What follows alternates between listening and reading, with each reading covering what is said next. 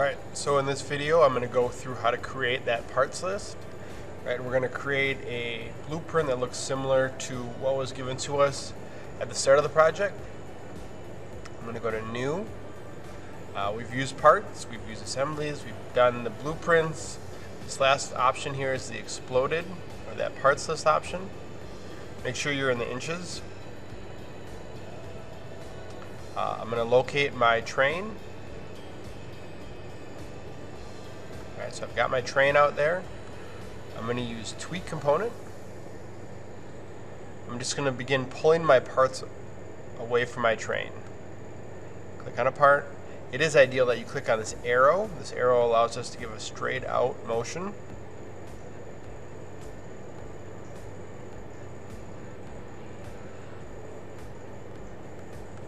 This blueprint or this drawing will help us identify how the train goes together. And notice that I'm pulling them about equal and using that arrow. That arrow again allows everything to move in a nice straight line directly out from my train.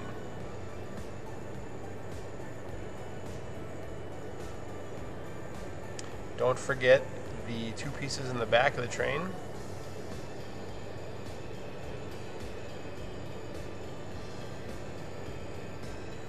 If you'd like to adjust anything, right, so this back uh, magnet, I pulled a little bit far out.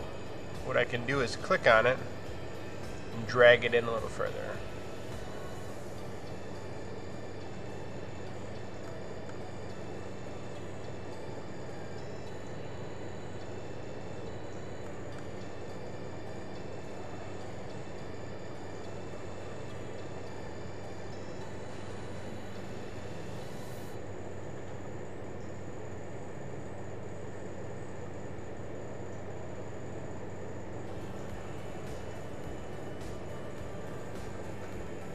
Not overly concerned about this side because this is the side that we're trying to replicate for the blueprint. I'm going to adjust this one just a little bit. Looks good. Alright, so now I'm going to save this file.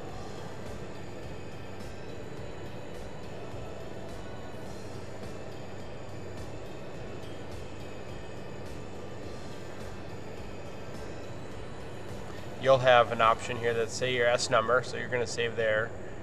I have a file located out in my own personal drive.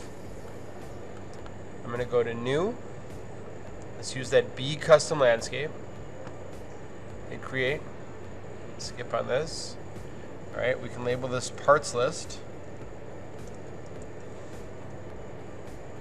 I believe my scale is 1 to 1 uh, the hour, whatever the date is, and then your name.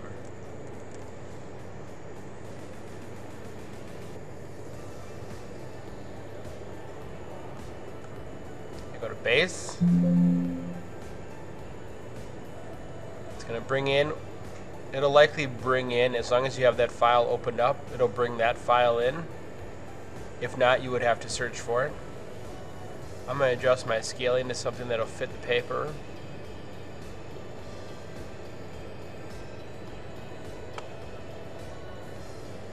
I am just going to verify that that is one to one. Yep, there's my one to one. Up on top where it says annotate, parts list. Again, it you're going to have to search to identify whatever uh, your train file or wherever your train file is.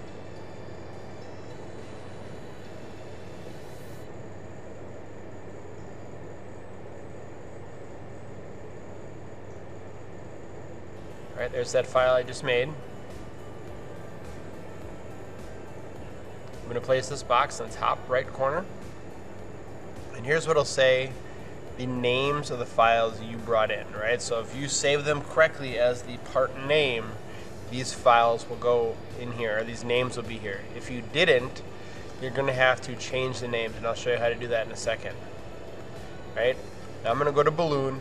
I'm going to begin ballooning each of my parts. I only need one balloon for each individual piece. That is different, right? So I have four wheels, I only need one balloon out here. It is important that when you place it, right, so I clicked on balloon, I click on my wheel, I need to make at least one other click, right? I'm gonna make one other click, and then right click continue, right? So that's identifying part number two. It sees four of them out there, and it is my train wheel, right? Make one other click, right click, continue. Number four is my hitch peg. Yours might be different, yours might not even match this. The important thing is to identify all of my nine parts.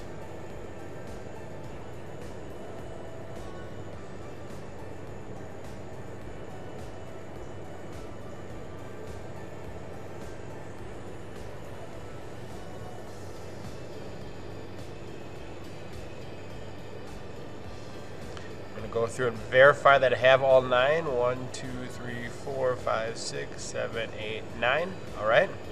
Um, I personally don't think the description is necessary for this project. Um, and if we need to make any other adjustments here, maybe you labeled something wrong, you're just gonna click escape a few times, exit out of any command that you're currently in, hover over it, right click, and go to edit parts list. All right, so the first thing I'm gonna do, this option here says column chooser. I'm going to take description and I'm going to remove that. That does free up space here. drag this out just a little bit. right? Then if you made any mistakes in the name, right click, edit parts list, and here you can change or modify any of your names. Alright? You notice it updates. This file then can be printed out and submitted with the rest of your blueprints. Thank you.